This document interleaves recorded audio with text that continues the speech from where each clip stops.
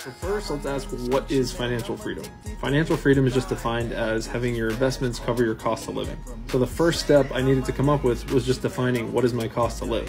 Creating a budget of housing, car, pop-up expenses, clothing, fun, whatever it was. So once I had that, I had something to shoot for to come up with what do I need to save more and what do I need to make more to cross that barrier. So for me, the first step of that was house hacking. What that means is you buy a property, you live in one part of it, and you rent out the other parts to people that want to pay you rent.